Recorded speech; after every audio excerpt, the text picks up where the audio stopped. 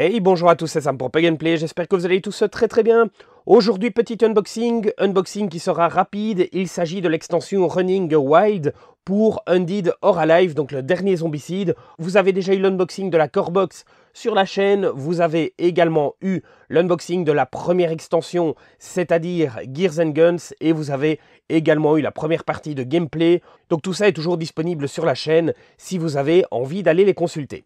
Quoi qu'il en soit, Running Wild, ça vous permet quoi? Ça vous permet d'avoir ce qui manquait, je trouve, dans la core box, étant donné le thème même du jeu, c'est-à-dire les chevaux. Qu'est-ce que serait un cowboy sans son cheval? Ici, on va vous proposer justement de pallier à tout ça, et on va vous proposer d'incarner des héros avec leur monture. Nouvelles règles, nouvelles figurines, vous allez voir en quoi consiste l'extension, on verra également les stretch goals, vous allez voir qu'il n'y a pas grand chose, ainsi qu'un petit achat qui était tout à fait optionnel, mais qui pour moi était indispensable, en tout cas si vous aimez bien, comme d'habitude, avoir du volume sur le plateau de jeu. Quoi qu'il en soit, ici l'introduction elle est déjà assez longue comme ça, et je vais vous laisser tout de suite avec l'unboxing de Running Wild, et on va ouvrir tout de suite la boîte pour voir ce qu'elle contient. Et comme d'habitude, et sans surprise, on a tout d'abord le fameux feuillet qui est donc la copie du dos de la boîte et qui permet d'avoir les mentions légales pour l'importation en Europe. Normalement donc ceci est glissé dans le cellophane au dos de la boîte. On a ensuite un manuel, vous allez voir que le manuel c'est plus un feuillet, manuel dans lequel on va voir les règles forcément pour utiliser les montures. Donc on va avoir deux versions des figurines, ça on va le voir tout de suite, on a les figurines montées et les figurines à pied. On va avoir ici lorsqu'on monte la figurine de nouvelles capacités. Donc par exemple, on va se déplacer plus rapidement, ça c'est assez normal, mais on va également avoir un dé de mêlée en plus lorsqu'on va attaquer. Et ça c'est pas mal du tout, et ma foi c'est tout à fait logique étant donné que le cheval va aider. On a également un nouveau type de skill que l'on verra avec les cartes des survivants qui se trouvent ici, et cette skill là ne va s'appliquer que lorsque vous êtes à cheval.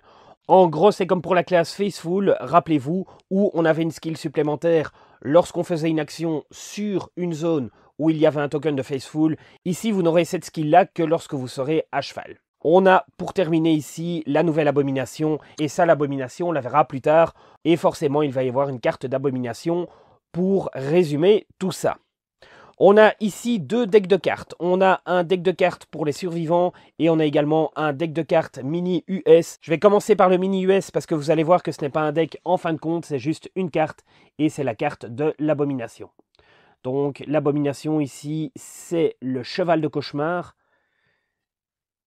Et donc c'est une carte tout à fait standard que vous pouvez, comme je disais, rajouter à un deck d'abomination. Donc vous pouvez faire un deck d'abomination avec l'intégralité des abominations que vous avez dans votre all-in.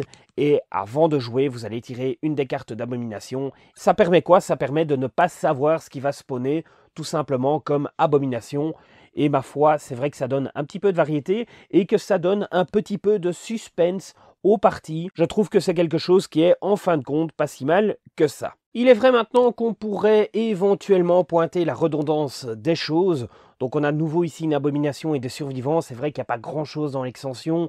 Est-ce que ça va vraiment servir? Et dans un autre sens, je vous répondrai que vous avez acheté du zombicide. Ça veut dire quoi? Ça veut dire que ce n'est absolument pas une réflexion désobligeante ni méchante, ça veut dire simplement que je pense qu'on sait à peu près ce qu'on va acheter. On sait qu'on va acheter des boîtes avec beaucoup de survivants, avec au final très peu d'ennemis de base. On n'a pas beaucoup de variété dans les zombies, mais par contre on va avoir beaucoup d'abominations et je pense que c'est vraiment comme ça qu'il faut prendre et voir zombicide. Et si on le sait avant d'acheter, eh bien lorsqu'on a le matériel sous les yeux, il ne faut pas s'étonner. Ceci étant, on a ensuite, et sans surprise, une série de cartes de survivants. Donc ce sont tous les survivants qui se trouvent ici que l'on va pouvoir incarner. Les survivants, la structure de la carte est exactement la même. Donc on a ici la capacité de notre personnage, capacité qui est liée, je vous le rappelle, à la classe. Ils ont maintenant donc une classe. Et à l'arrière de la carte, on ne décrit plus la classe en question, donc la capacité spéciale, mais on va décrire ce que le personnage peut faire lorsqu'il va monter son cheval. Donc ça, ça va être la même chose pour tous les personnages.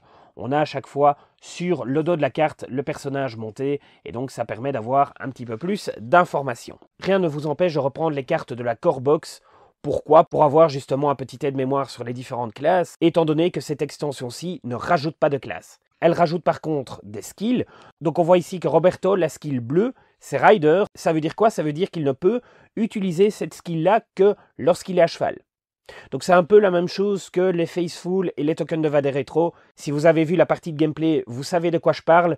Ici c'est la même chose, donc c'est une skill qu'il ne pourra utiliser que lorsqu'il est à cheval. Et l'intégralité des personnages ici ont pour commencer leur skill bleu le mot-clé Rider, donc les capacités spéciales ne peuvent être utilisées qu'à cheval. On a donc ici Roberto, on a Abby, ensuite, donc qui est une demoiselle, forcément, on a Mitchell, on va avoir Emilia, on a Holly, et pour finir, on a Tyler. Est-ce qu'il n'y avait pas déjà un Tyler dans la core box?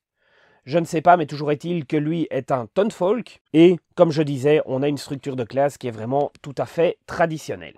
Donc ça c'est au niveau des cartes, on a une punchboard, donc c'est une punchboard très petite avec les différents chevaux. Donc ces tokens-là servent lorsque vous descendez de cheval, vous allez abandonner votre cheval et à ce moment-là, vous mettez un token à l'endroit où vous l'abandonnez. On a forcément les figurines et on en aura déjà fini ici pour cette extension. Donc dans les figurines, pas grand-chose. On a forcément, comme je vous disais, les figurines à cheval. Donc vous allez avoir les deux versions, vous allez avoir cette version-ci avec à chaque fois les héros à cheval et vous allez avoir la version forcément à pied. Donc lorsque vous descendez de cheval, vous récupérez votre figurine avec votre personnage à pied. Vous aurez bien entendu un carrousel en fin de vidéo pour voir tout ça de près. Tout ce que je peux dire, c'est que franchement, ce n'est pas dégoûtant du tout.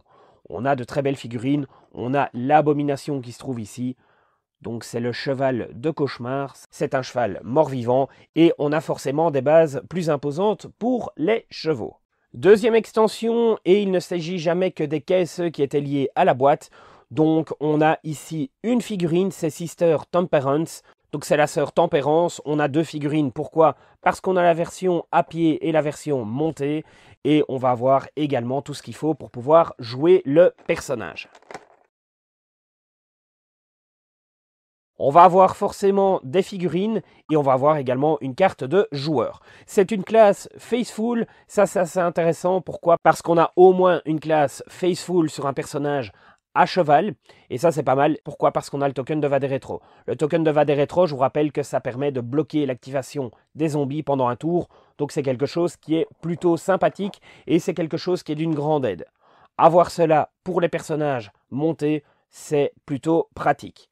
Donc figurines, forcément, de nouveau, vous aurez le carrousel en fin de partie, mais les figurines, comme d'habitude, sont vraiment très belles. Elles sont vraiment très belles, bon niveau de détail. Je n'ai pas eu de casse dans ce zombicide-ci.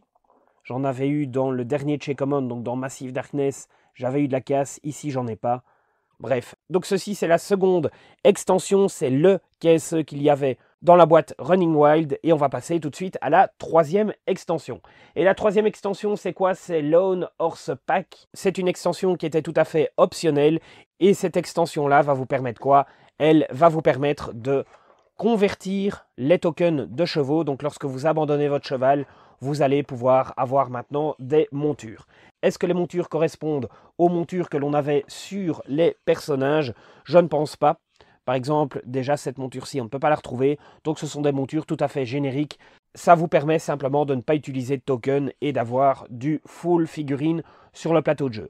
Est-ce que c'est vraiment nécessaire? Ça, c'est à vous à voir. C'est à vous à jauger votre amour du plastique. Toujours est-il que ceci était en addition, donc en addition de la boîte Running Wild, et vous pouviez donc faire son achat pendant la campagne. On est donc ici arrivé à la fin de cet unboxing. J'espère que vous avez aimé tout ça. J'espère que vous avez aimé la vidéo. Vous voyez qu'il n'y a pas grand chose dans l'extension. Malgré tout, ça peut donner un petit peu plus de diversité dans vos parties. Vous pouvez également mixer les deux, donc vous pouvez avoir des chevaux disponibles, mais pas assez pour tous les joueurs, et donc être obligé de devoir jongler entre les divers chevaux disponibles, c'est tout à fait possible également, et vous pouvez très bien forcément adapter les règles pour pouvoir utiliser les montures avec les différents personnages de la core box ou des stretch goals. Quoi qu'il en soit, comme je le disais, si vous avez aimé tout ça, eh bien c'est bien simple. Comme d'habitude, un pouce, un commentaire, les likes et les commentaires, ça devient très important pour le référencement. N'hésitez pas non plus à vous abonner, surtout si vous passez souvent sur la chaîne sans être abonné. N'hésitez pas à le faire, n'hésitez pas à partager la vidéo, n'hésitez pas à aller voir du côté des réseaux sociaux, Facebook et Instagram, faire tout ce qu'on peut faire du côté des réseaux sociaux. Vous êtes forcément le bienvenu pour commencer une conversation là-bas. Quoi qu'il en soit, moi, il me reste à vous souhaiter une très bonne fin de journée, il me reste à vous souhaiter de très belles parties, de très beaux jets de dés, et il me reste à vous souhaiter, bien entendu, que l'on se retrouve bientôt pour de nouvelles vidéos. Au revoir.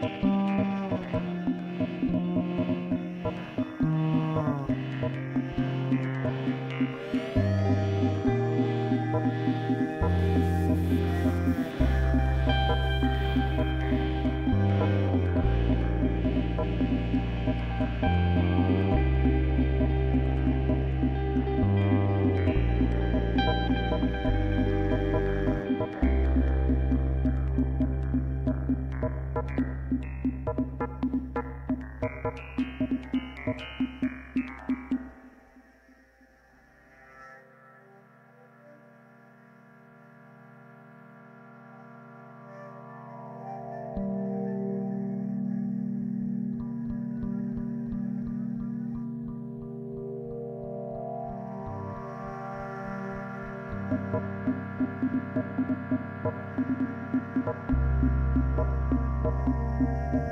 you.